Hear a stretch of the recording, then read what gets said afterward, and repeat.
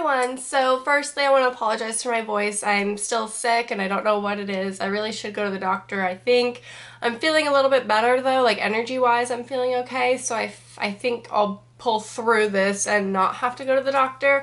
I don't know, it's probably a bad decision, huh? But anyway, I hardly like being negative. I don't like being negative on my channel and the last time I did this, I seriously got so much hate for it, but I get so many requests to do this kind of video.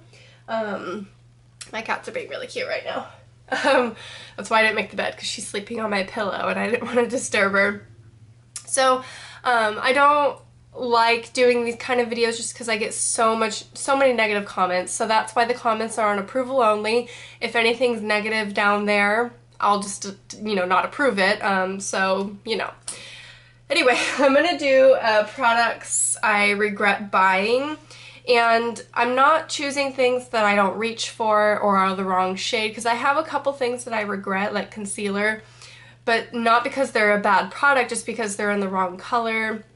There's some like eyeshadows that I just don't reach for that I wish I probably shouldn't have gotten. Doesn't mean they're bad, um, I just don't reach for them. So I didn't include any of that. I included products that are, I find, not worthy of whether there's a hype for them or just not good products and I don't I wish I hadn't gotten them because they're they're just not good. So um, I'm hoping I'm not gonna be too negative in this video. I don't I'm not dissing any of the brands I'm talking about. I'm not you know being negative about these brands. It's just these products did not work for me. However I've seen these products work for other people. So personal experience okay? I have to put a huge disclaimer because last time I seriously got so much hate on this kind of video, okay? So I don't want to talk too long, but I have to put that disclaimer out there. The first thing to talk about is a NARS product. The last video I talked about NARS Laguna and Orgasm. They just don't work for me.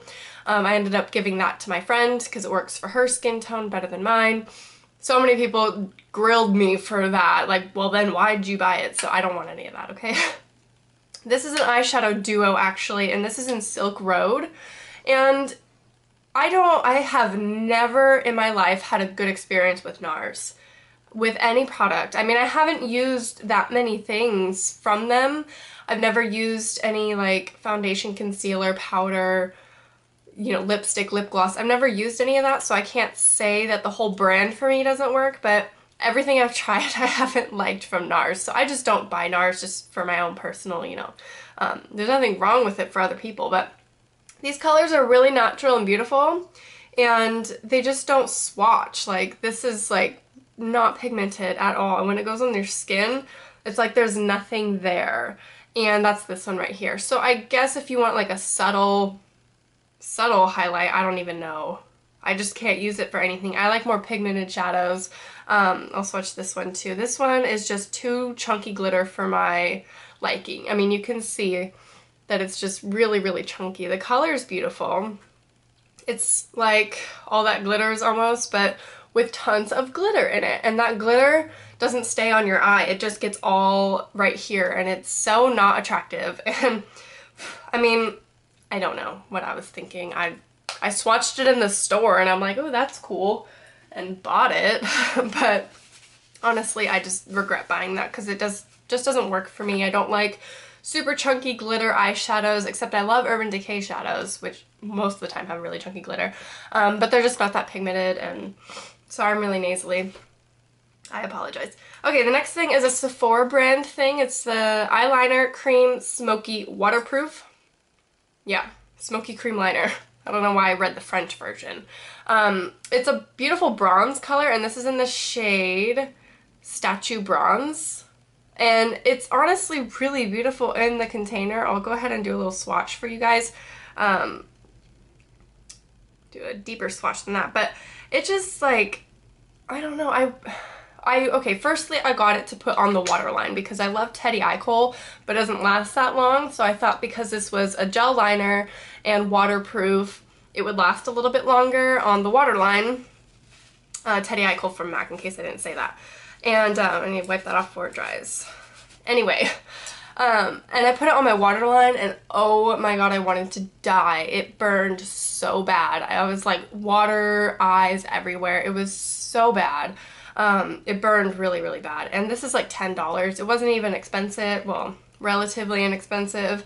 And um, I try to use it on the upper lash line too, and it's so weird. It's really streaky and it just doesn't look good on me. And it like is kind of flaky. I don't know. I just have not had good luck whether on the waterline or on the top lash line with this product.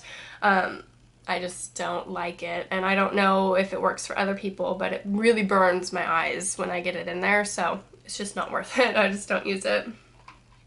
The next thing is a Make Up For Ever Aqua Eyes um, eyeliner.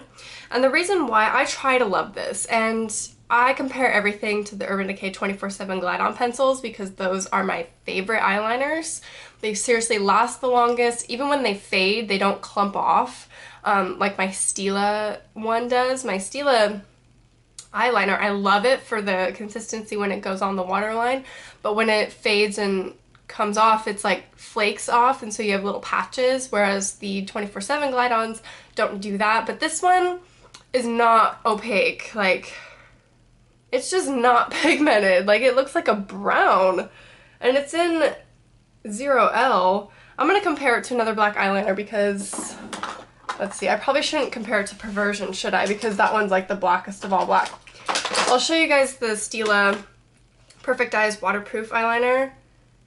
And like, that's how black eyeliner is supposed to be. What the heck is this about? Like, I can kind of use it to smoke it out for like daytime, but honestly, it's so not pigmented. And I was like, what is that? I don't even know. Um, it's supposed to be waterproof though, but I find it just doesn't last that long. And I just wish it was darker. I don't know. It doesn't budge like when you have it on there. Neither is the Stila one um, when it dries. The Stila one's really great for not moving um, when it dries, but I don't know. I just don't like this one that much.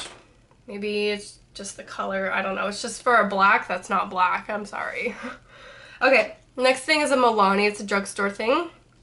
I only have two drugstore things, and then I have one more high-end. Um, Milani Crystallize. This is a, I don't even know, sparkling eyeshadow. A smooth and lasting eyeshadow with glimmers and pearls that deliver a sparkling finish on the lids. I don't know. This one's in Lovely and Luminous. And I thought it would come out like that, but honestly... So it looks like a glitter, like... I don't know what you use to like decorate clothes with, like a glitter pen kind of thing. But that's what it like comes out as. And then when you like blend it out, it looks like that. And then when you blend it out even more, it's just glitter. And God forbid you get this in your eye. Like, I would cry. These are, this is like kind of glitter that you would put maybe on your body, but not on your eyes. Like, really, that is so chunky. And there's no color. Like, it's just glitter. and I don't understand the concept. I mean, I kept it because I was gonna do like a glossy eye with it over like a black cream shadow maybe and see if it, I could do like a grunge look with it, having like the glossy eye, because I love the glossy eye, but I don't know if it's going to crease or not. I don't know. Haven't really used it that much because when I swatch it, it's just so not attractive. I don't know how that's like a makeup product. I see that on like clothing. I don't know. It's just, it's a weird product. Um, the next thing I'm going to talk about is Stila One Step Foundation. And this is supposed to be um, a primer, foundation, concealer, and powder all in one. Now this is primarily an, a regret because of um, the color. I actually got this on HauteLook.